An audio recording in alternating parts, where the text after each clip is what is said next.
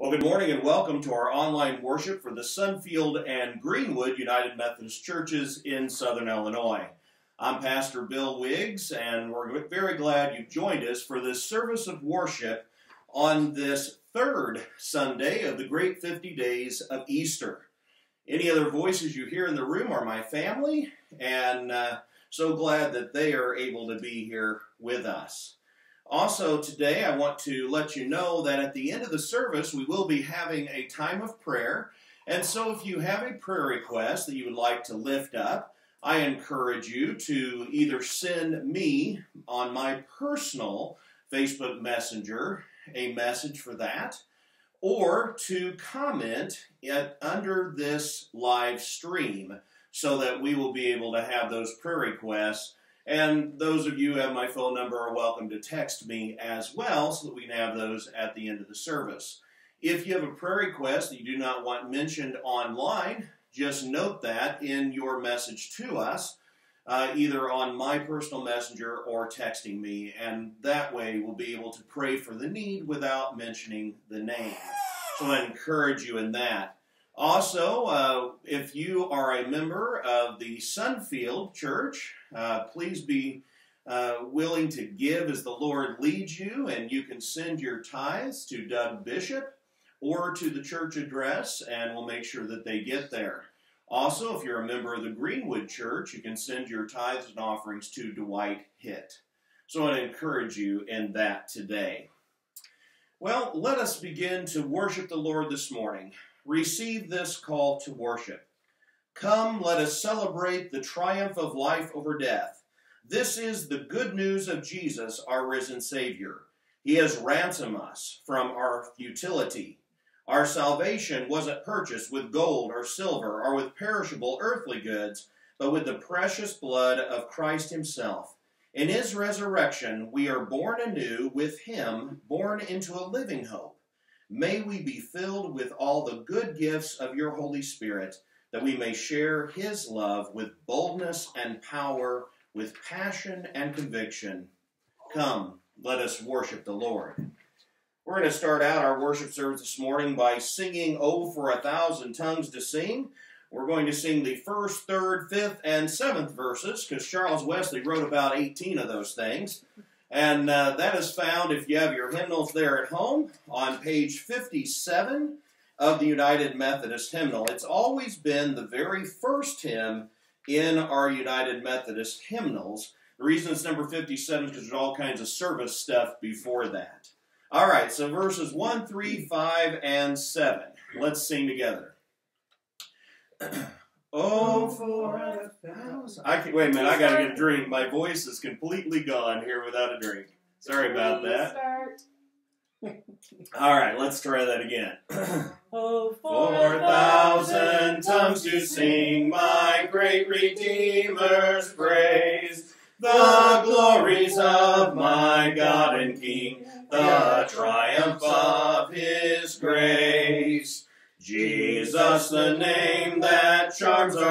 that bids our sorrows cease. Tis music in the sinner's ears, tis life and health and peace. He speaks and listening to his voice, new life the dead receive. The mournful broken hearts rejoice, the humble poor believe. In Christ your head you then shall know, shall feel your sins forgive, anticipate your heavenly love, and know that love is heaven. Amen. Let's pray. Heavenly Father, we thank you and praise you for this day. We ask, Lord, that as we enter in this time of worship, that you will be glorified. That, Lord, we will experience your love and your presence today. And Lord, in all things, we may know that you are with us. May your Holy Spirit inspire our worship today, we pray. In Jesus' name, amen.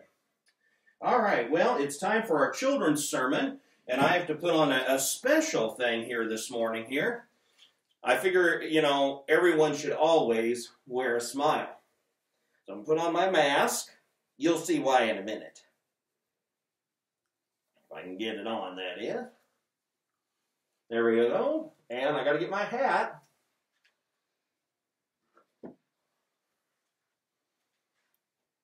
There we go. Now, we have a very special person for our children's sermon this morning. Hi there. This is my granddaughter, Elizabeth Grace. Can you see her there? Isn't she pretty? Yeah. So we're glad to have her here. Hi there, Elizabeth. So we have a new person to be in our children's sermon today. And uh, I want to tell you today about uh, the fact that we are supposed to tell others about Jesus. But to do that, I want you, oh my, that's mine. Turn off that sound. There we are. I want to show you something here. Uh, hopefully, you can see this at home. And kids, you may need to move closer so you can see it better. But uh, I have some dominoes set up here. Now, for a long time, I had no idea that there was actually a game to dominoes other than knocking them all down. But uh, I've played it a few times. Maybe you have too. And uh, you know how this goes, though. I, in fact, I know some of you do because I've seen the videos from your houses of you knocking down a whole bunch of these things. So what I'm going to do, see, we in order to do this, see all these are lined up in a row. On your screen, it may look like there's one, but there's a whole bunch of them. Here we go. You ready? If I touch one, they're all going to go. And right off the table on the end. She's dawdling around a bit, isn't she? Yeah. So the reason that they did that is because one touched another, touched another, touched another, all down the line until all of them were knocked down. And that's the way it works with telling others about Jesus.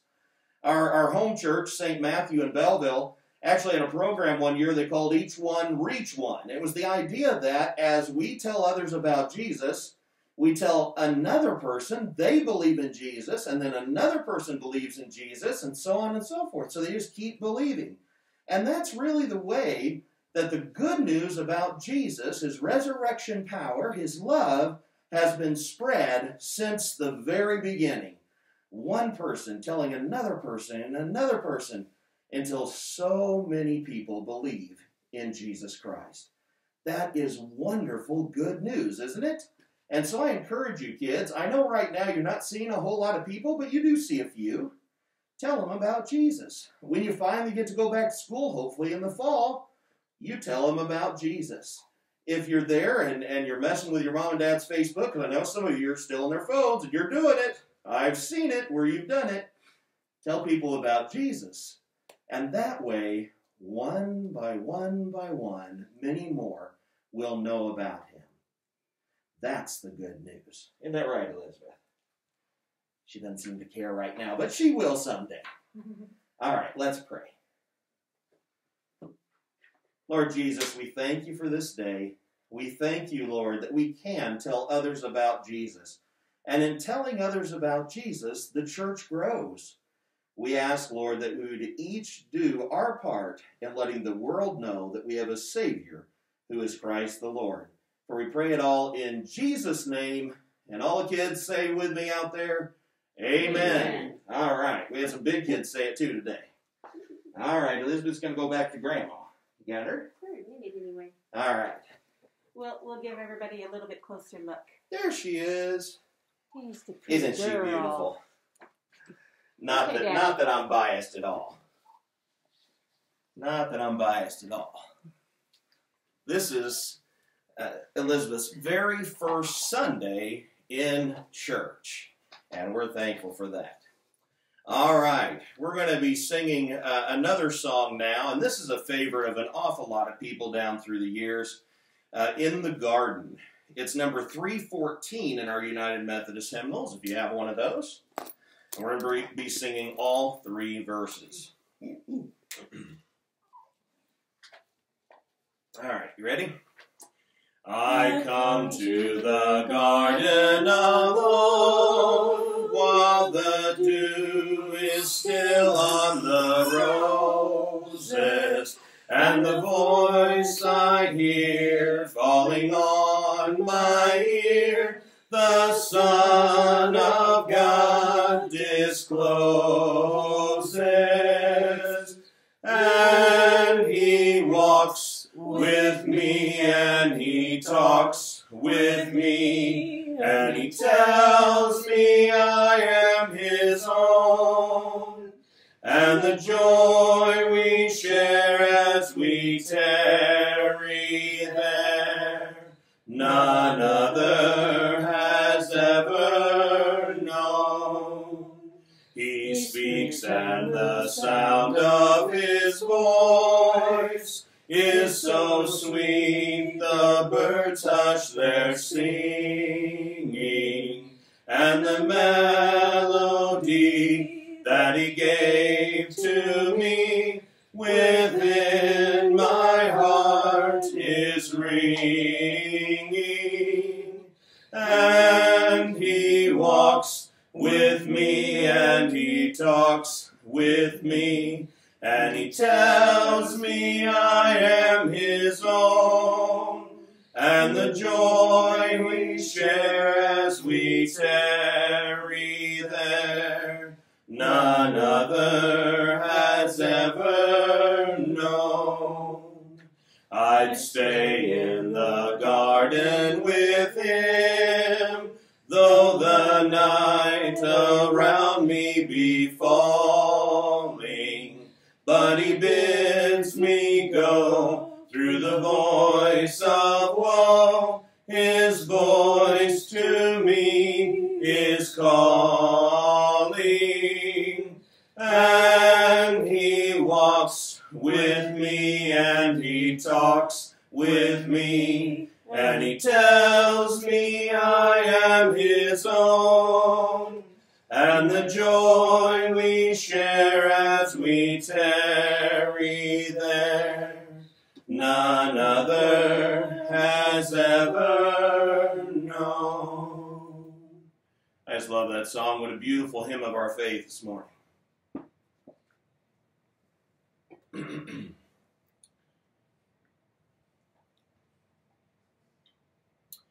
Well, today we are coming to the 16th sermon in our series, The Life and Times of Jesus, our Savior. And if you'd like to listen to any of the other sermons in this series, I invite you to go to the Sunfield United Methodist Church website and listen to them there. The Sunfield website is www.sunfieldumc.com. For sermons preached after March 15th, you can go to the Sunfield YouTube page or here on Facebook, as it is somewhere down on the page, and you can listen to them there. Today we're reading from the Gospel according to John, chapter 20, verses 11 through 18, and I'm reading from the New Living Translation. Hear now the word of our Lord and Savior, Jesus Christ. Mary was standing outside the tomb crying, and as she wept, she stooped and looked in she saw two white robed angels, one sitting at the head and the other at the foot of the place where the body of Jesus had been laying. Dear woman, why are you crying? the angels asked her. Because they have taken away my Lord, she replied, and I don't know where they have put him. She turned to leave and saw someone standing there. It was Jesus, but she didn't recognize him. Dear woman, why are you crying? Jesus asked her. Who are you looking for? She thought he was the gardener. Sir, she said, if you have taken him away, tell me where you have put him, and I will go and get him. Mary, Jesus said. She turned to him and cried out, Rabboni, which is Hebrew for teacher. Don't cling to me, Jesus said, for I haven't yet ascended to the Father. But we but go, find my brothers, and tell them, I am ascending to my Father and your Father, to my God and your God. Mary Magdalene found the disciples and told them, I have seen the Lord. Then she gave them his message. This is the word of, the God, for, of God for his people today. Let us rejoice and be thankful in all the Lord has done, is doing, and will do. Let's pray. Heavenly Father, open our hearts and minds by the inspiration of your Holy Spirit, that having heard your words today, our hearts will be encouraged to live more fully for you and now may the words of my mouth and meditations of all of our hearts be acceptable and pleasing in your sight, our rock and our Redeemer. Amen. Well, as we come to the living Word of God today, we enter into Mary Magdalene's life changing encounter with the risen Lord. All the events in the life and times of Jesus our Savior that we've looked at really are pointing to this all important event in the life of Christ. The resurrection of Jesus Christ is, in fact, the most significant event in all of the Gospels and in human history itself. Without the resurrection, we are totally lost. We need the resurrection. It's absolutely the primary important thing in the gospel of Jesus Christ. For without it, we're without hope. In fact, I don't even think we would know about Jesus. We wouldn't know about his miraculous birth or any of his teachings or anything else had it not been for the resurrection of Jesus Christ. And so, as we come to this, we find that we have a very special and life changing encounter with Jesus Christ that Mary experiences. It's going to change everything about her from then on. Her whole life will change. But before we get to Mary's post resurrection encounter with Jesus, I'd like to give you just a, a, little bit of background information on Mary Magdalene. Uh, the name Magdalene likely indicates that she came from the city of Magdala, a city on the southwest coast of the Sea of Galilee. Luke 8 2 and Mark 16 9 tell us that Jesus cast seven demons out of her. And from then on, she became one of his faithful followers. Think about that seven demons. This poor woman was severely bound by the devil. The scripture also says that he healed her of sicknesses. So he completely set her free. Now, in the 6th century, Pope Gregory, the one who brought to light the, the seven deadly sins into our common understanding of the church, he began to identify Mary Magdalene with the sinful woman who washed Jesus' feet with her tears and dried them with her hair. He also associated her with a woman caught in adultery, whom Jesus saved from stoning. And the church down through the ages has therefore thought of Mary Magdalene as a reformed prostitute. Now, while the Bible does not say that Mary Magdalene was indeed the one who was talked about in both of those stories, there's some circumstantial outside evidence that points to this understanding. At least we understand where they got it. First of all, the city of Magdala is said to have had a reputation for prostitution. It was uh, kind of the city, you know, the original Sin City kind of place.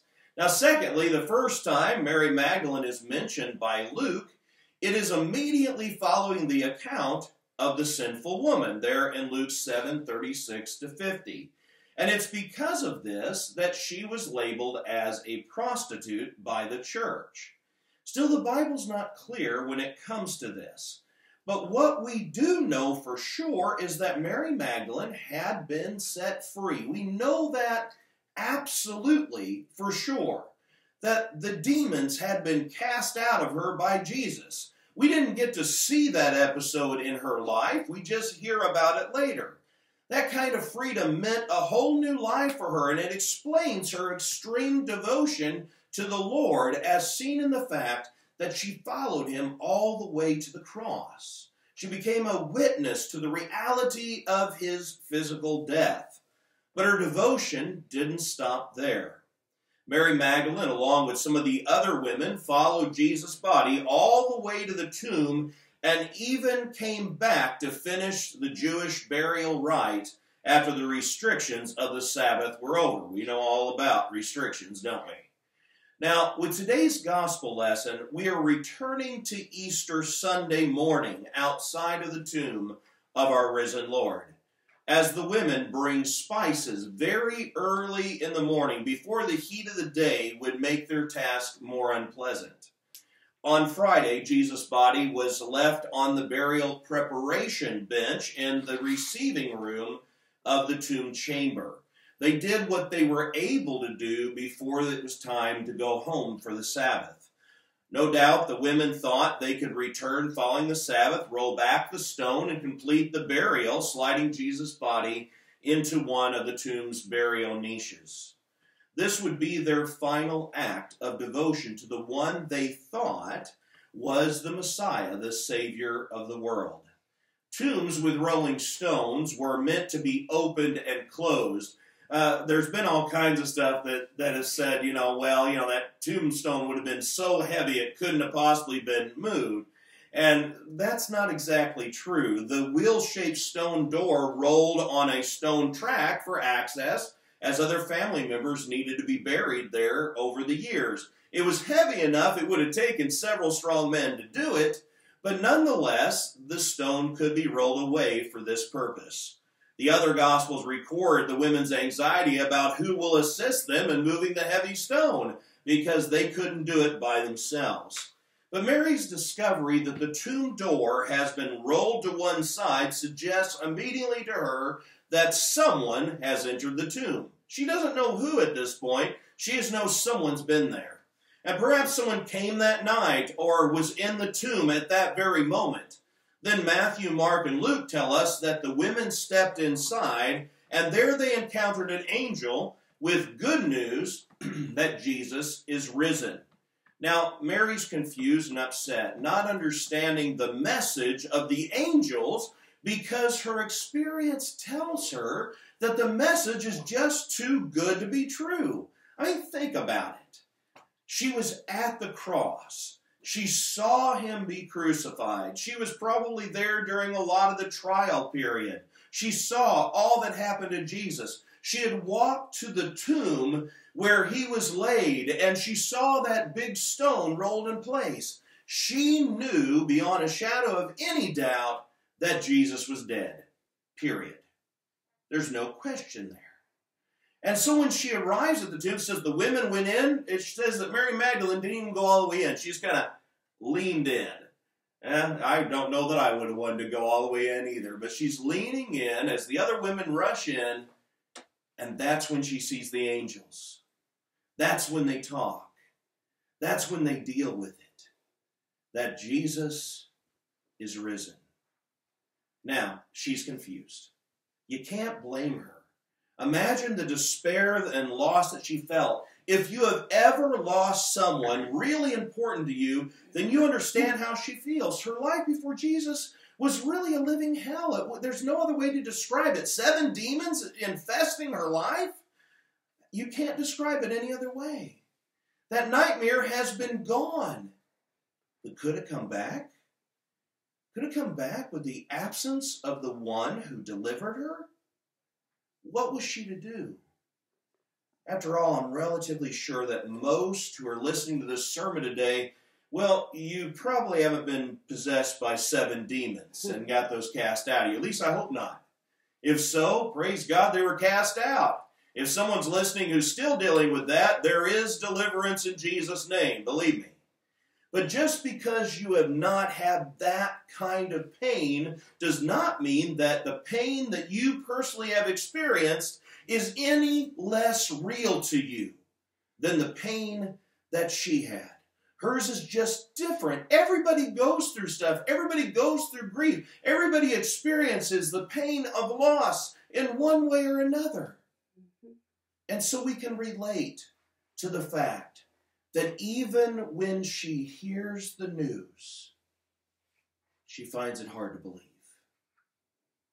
I understand it. The truth is, we all go through pain, and it would be difficult for any of us to understand that. In fact, many times when terrible things have happened to us, it's very difficult to hear good news.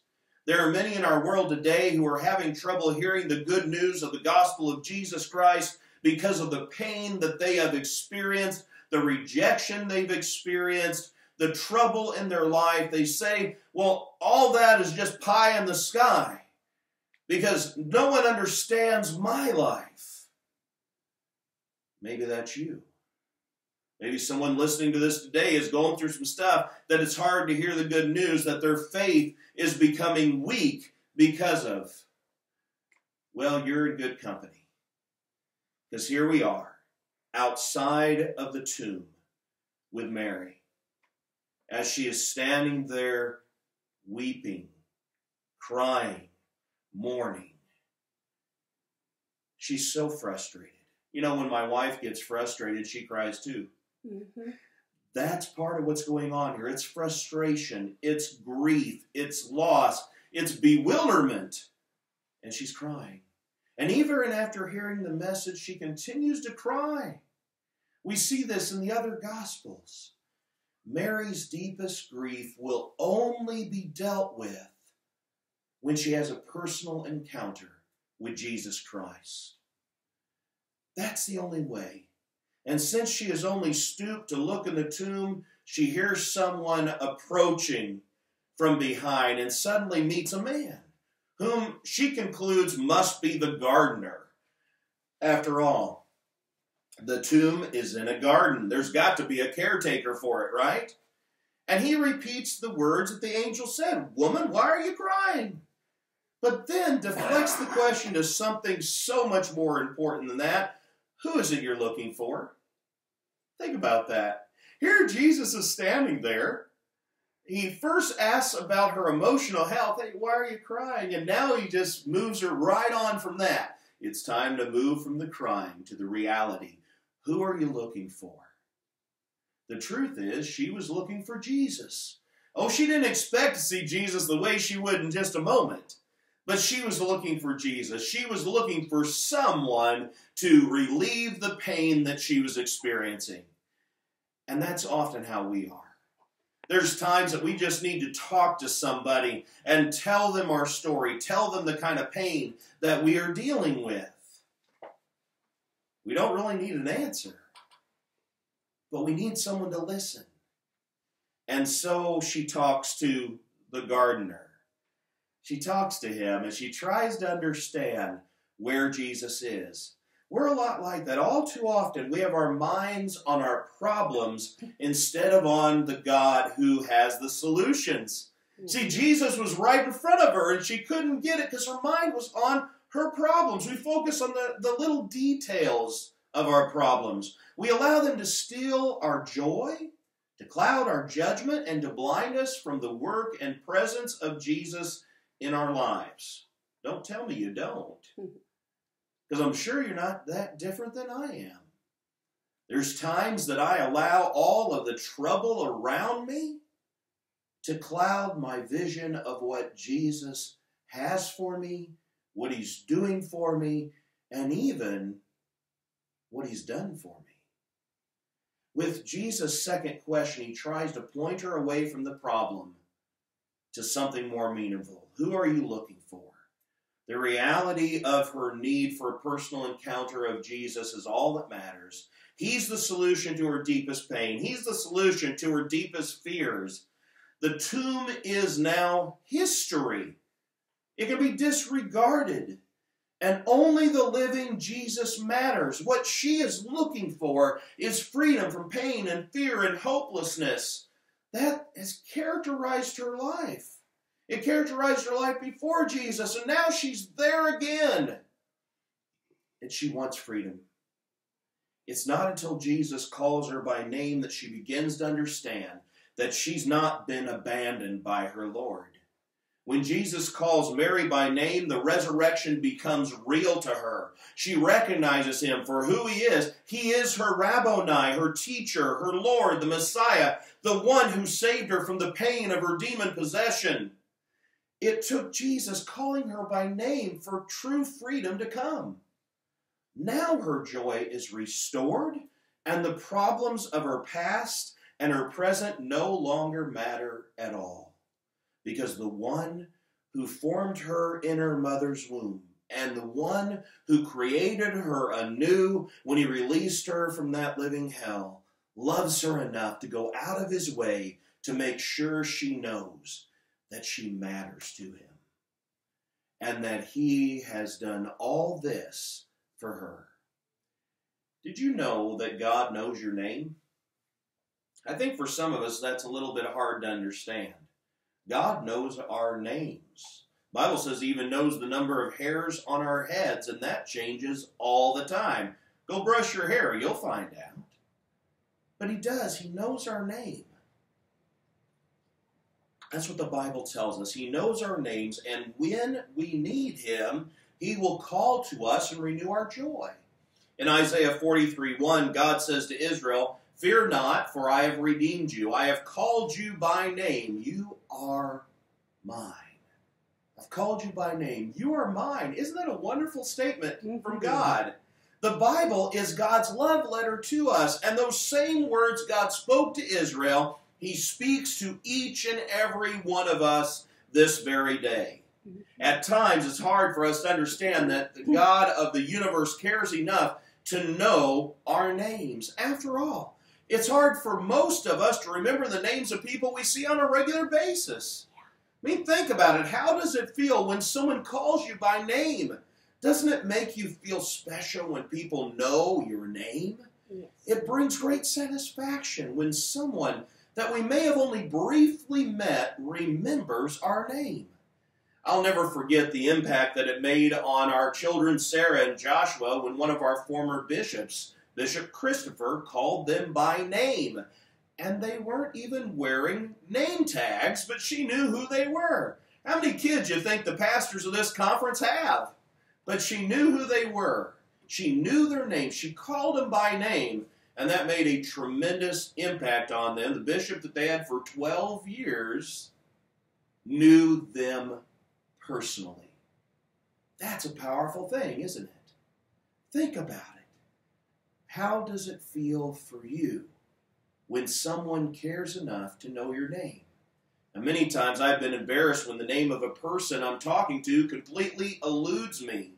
And so, how comforting it is to know that God knows and calls us by name. He knows our name, and we are His. Amen. We're His. We're His children. He loves us and He cares about us. He knows our name. He knows our needs. He knows our circumstances. And He wants to be right in the middle of them to give us freedom from the pain and to restore our joy through the saving power of our resurrected Lord.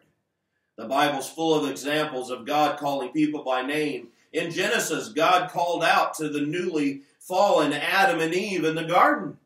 In Exodus, God called Moses by name and he spoke out of a burning bush. In 1 Samuel, God called the young boy Samuel by name in the night, calling him to a future ministry. I love that story. Kids, if you're listening still and you haven't heard that story of God calling Samuel by name, ask your parents to find it for you there in 1 Samuel in the Old Testament. What a wonderful story.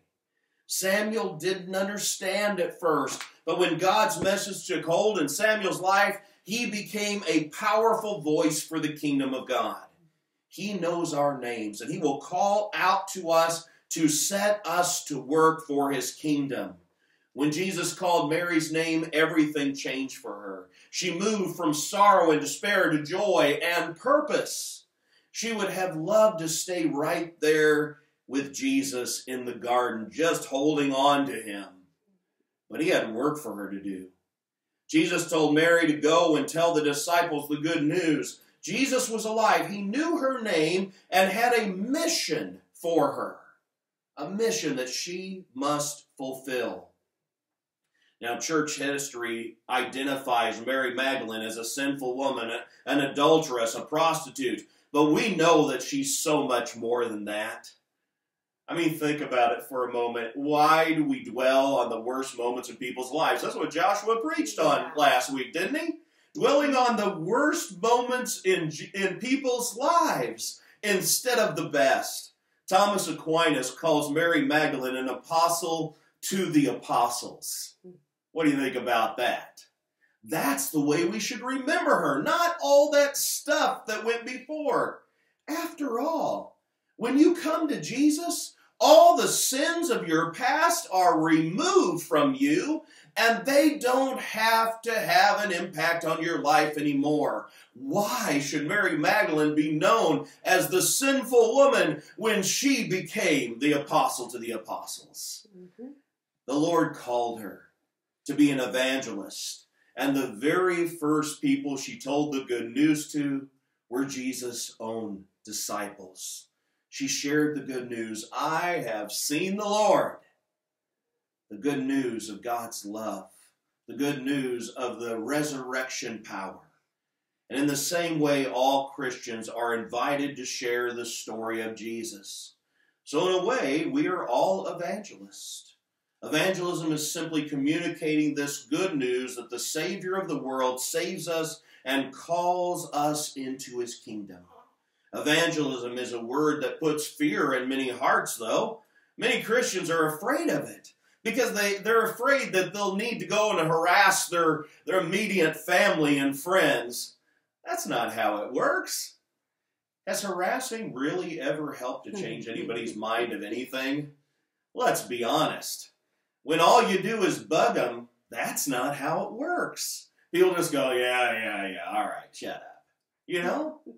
That's not what evangelism is. The truth is, evangelism is simply bringing the good news of Jesus to everyone in our circle of influence by expanding our relationships so those who are unfamiliar can become familiar for the sake of the gospel, we can spread the good news of Jesus Christ. When we finally commit our lives to Christ and His mission for us, evangelism becomes an overflow of our life in Christ. It's not something that has to be forced because it just bubbles over. Sharing our faith should become the natural out, outgrowth, outgrowth of our circumstances. That's the way it's supposed to work. Just you sharing Jesus with the people that are around you. There's an old saying that says this about the nature of evangelism. Evangelism is simply one beggar helping another beggar find bread. Oh, I love that one.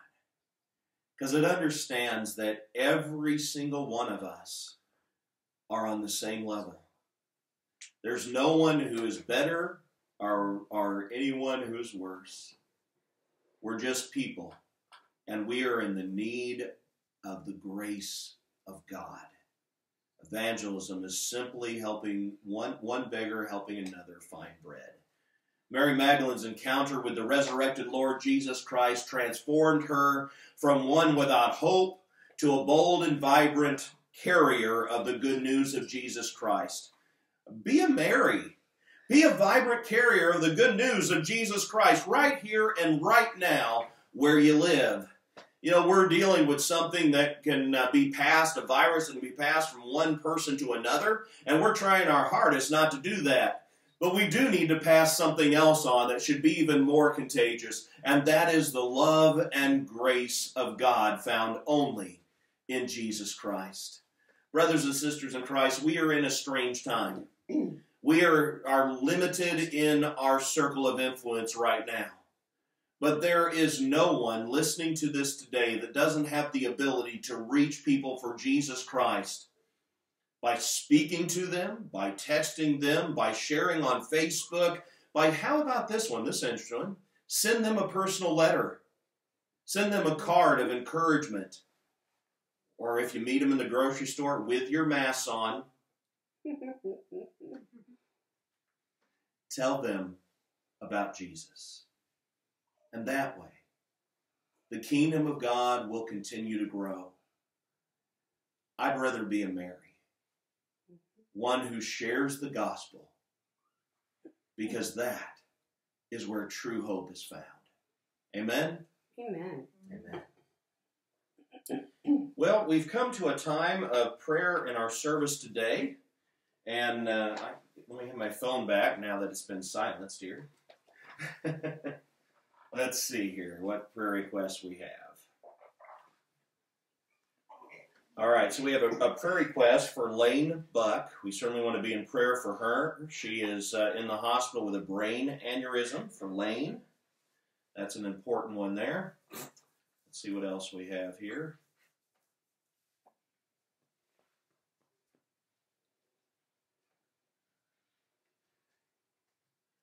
This is a long one here, so let me look at this real quick. I don't want to read it out loud until I know the whole thing here.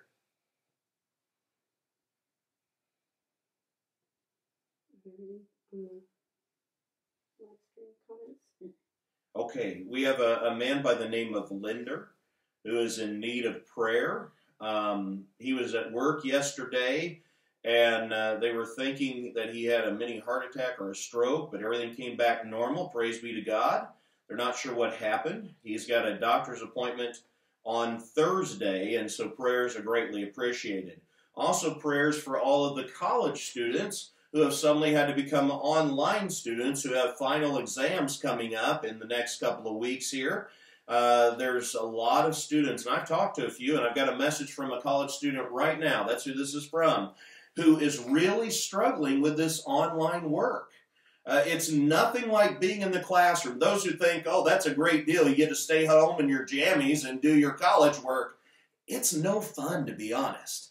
I, a few years ago, I took a continuing education class online, worst experience I've ever had. Now, the teacher was great, and the classmates were great, but I never saw them.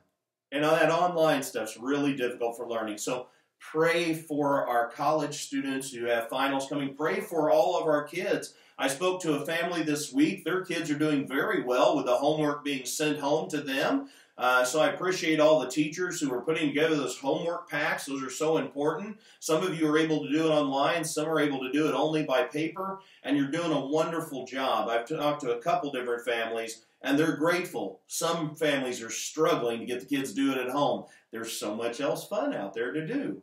So uh, just really be praying for all of the students, all the teachers, and uh, be in prayer for all those who are struggling difficult in this time. for the elementary teachers who are not used to having to do things online. Yes, very difficult for the elementary. to get kids to pay attention through a computer is a challenge. Yeah, definitely. Because you know, if Fortnite was running, they'd have it, but uh, their subjects aren't Fortnite. Although, if you had a class in that, I bet they'd all get an A. That might work. All right, other prayer requests. Any others come in? Um, not one that's in there, but there was something mentioned with one of my churches. There was a church member that apparently had a stroke over the weekend. I don't remember who, but there was a member with a stroke. Then we're at Broughton or Tate's Chapel Tate's churches Chapel. who had a stroke. All right. That was Mike Schultz, by the way, my son-in-law. Uh, he is a ministry intern with Broughton and Tate's Chapel United Methodist churches, and he hasn't been able to do any of his internship for the last few weeks. So uh, we appreciate that as he's here with us. We want to pray for that person who had a stroke. Any others that you guys know of? I'm sure there are others who need prayer today. We want to lift them up. Continue to pray for all of those who go to work every day in order to keep things running for us. Continue to pray for our medical uh, staff. That's so important. We want them to be protected. I, I've seen uh, where we've lost a few doctors in the nation due to this now and some nurses. And so uh, we really need to be in prayer. We need to be in prayer that they will find the answer very quickly. Most of you who are watching this today know that we have been extended on our stay at home order here in the state of Illinois until the end of May. And so we're going to be coming to you this way for some time now. And uh, I just pray that it's a blessing to you.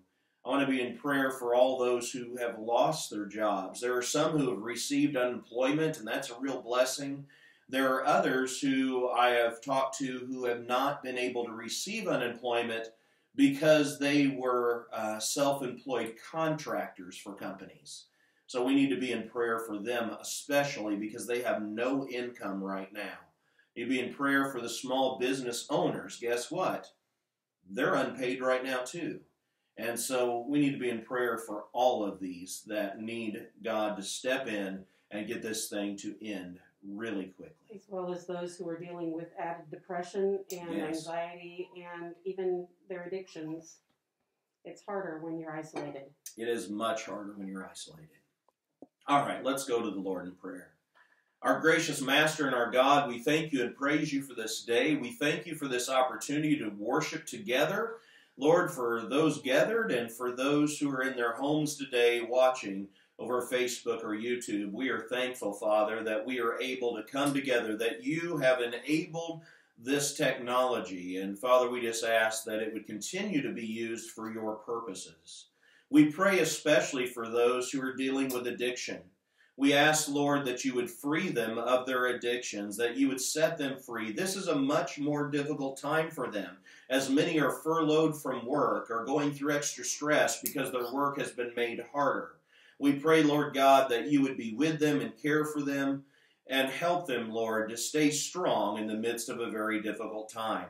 We pray for those who are dealing with anxiety over this. Lord, we just pray that you would relieve them of that anxiety and give them peace in their hearts. For those who are dealing with depression, we ask, Father, that you would lift them up out of that miry clay and help them to be strong and help them to know joy in the midst of all of the troubles going on. We pray for all those who are dealing with online classes right now for those students that never intended to be online students, but now they are. Lord, we just pray that you'd be with them, give them encouragement, help them to stay focused on the work that they need to do. We pray for the college students whose final exams are coming very soon.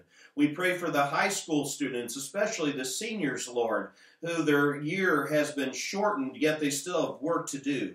We pray for the junior high students. We pray, Father, that you would really help them to stay focused. We know it's hard at that age to stay focused, but Lord, we just ask that you'd encourage them right now in Jesus' name. We pray for the elementary students. We ask, Lord, that you would give them encouragement and, Lord, just help them to understand all that is being taught to them. We pray for the parents. Uh, Lord, we've talked to someone who, uh, some parents who were never intending to be teachers are now having to teach stuff they've never seen before. And so, Lord, we just ask that you would give them clarity as they try to help their kids understand the lessons. Also, Lord, bring peace to homes that are struggling from that 24 uh, hour togetherness that they're just not used to. We pray for our medical professionals, Lord. We just pray that you would care for them right now in Jesus' name. For those who have died, Lord, we pray for their families, that you would give them strength and peace. Wrap them in the arms of your love during this time. Lord, for those who are sick, we ask that you bring healing to them. For those medical professionals and the support staff in the hospitals who uh, are dealing with this virus, we just pray, Lord, that you would keep them safe Lord, we pray for all of the medical staff and the support workers who have been furloughed during this time in our smaller hospitals because they don't have much work. Lord, we just pray that you would provide for them. We pray that you'd give the scientists good understanding of this disease so that they can find a vaccine very, very quickly. Be with our leaders, Lord, and give them wisdom in this time that they may know the right answers how they are to do what they need to do. We pray for this one who has possibly had a stroke. We ask for your healing touch upon them. We lift up Linder to you. We ask for your care upon him and, and your healing touch. We lift up Lane to you, Lord. We ask that uh, this brain aneurysm would go away, that, Lord, the doctors would be able to help her with this, and and Lord, we just ask that you would bring healing completely to her. Be with her family, Lord, and care for them. And with all the families who are away from their loved ones who are in hospitals. We lift up Mary to you and we just ask for your healing touch upon her and for her husband Delton as he deals with this loss of his wife being away from him. Lord, they've been together for over 60 years, and this is difficult as his wife's in the hospital in St. Louis and he's here at home. Lord, would you comfort him? Would you give him wisdom? Would you give him encouragement in the name of Jesus? Lord, we thank you that she's starting to show some, some progress here. Father, would you continue to work the progress in Mary? We thank you that you are doing that. Bring her to rehab quickly and then home. Lord, we pray for all of our brothers and sisters in Christ who are worshiping from home today. May you give them wisdom, may you give them strength, and may you encourage them in their walk with you. Lord God, we pray for our military men and women wherever they are. We ask, Lord, that you protect them and that, Lord, you would use them in ways that, that help with this situation. We pray especially for those who are in harm's way right now. We ask that you be with them and keep them safe. Lord God, we pray for the church. We pray for all of the churches who are trying to keep going under these really difficult circumstances. We lift up our bishop, Bishop Beard, to you right now in Jesus' name. We ask you to give him strength and wisdom as he leads our United Methodist Conference here in Illinois. And Lord, that you'd be with our superintendent to stand. Lord, just give him strength as he leads our district here. Father, help him to have wisdom in his work. Lord, there's just so much more that we could lift up for, for to you, so much more that needs to be said. But Father, we thank you that you know the needs even before we speak them. And so we ask you, Lord, that we might see the answer to our prayers, and that, Lord, you might be glorified. For it's in Jesus' precious name that we pray. Amen. All right. Well, if you have any other prayer requests you didn't get to us during this time, if you want to send those to us, we will be praying for them throughout the week. Another announcement you didn't think about was if you want communion next week, Yes. um, let us know how many in your family, and uh, we'll make sure that you can get that if we can possibly get it to you. All right. If you would like to receive communion, uh, we are right now trying to secure some communion elements that can be delivered to your homes. Uh, if you would like those, then I ask that you uh, you get the you get a message to us so we know how many to deliver to you. We're hoping to have communion next Sunday morning. Uh, if we can't get them by then, then it'll be the next week. But we're going to try to get our communion elements for you and delivered to you. So please do let us know if you would like to receive. And if you can help deliver. Yes, and if you can help deliver. Uh, if you are going to deliver, you will be wearing masks and you will be uh, going just up to the door. You don't need to even see the people. You just knock and you leave it for them. And so we could really use your help with that as well. All right, we're going to close our service this morning. It's number 569 in the United Methodist Hymnal. We've a story to tell to the nations. We've a story to tell to the nations that shall turn their hearts to the right. A story of truth and mercy, a story of peace and light, a story of peace and light.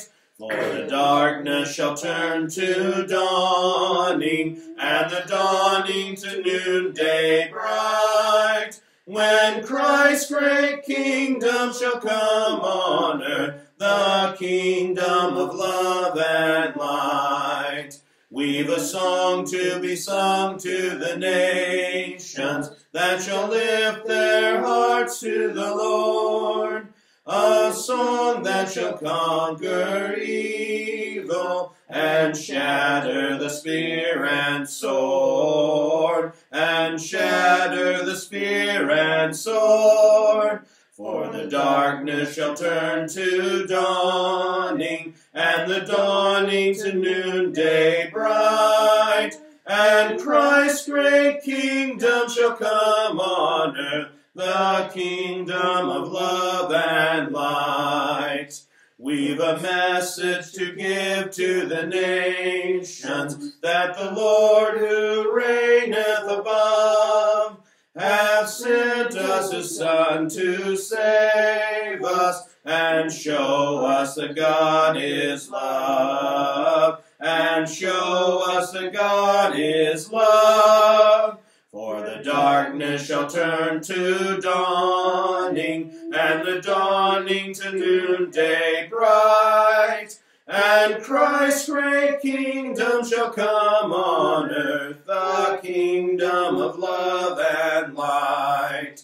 We've a Savior to show to the nations, who the path of sorrow hath trod, that all of the world's great peoples might come to the truth of God, might come to the truth of God. For the darkness shall turn to dawning, and the dawning to noonday bright. And Christ's great kingdom shall come on earth, the kingdom of love and light.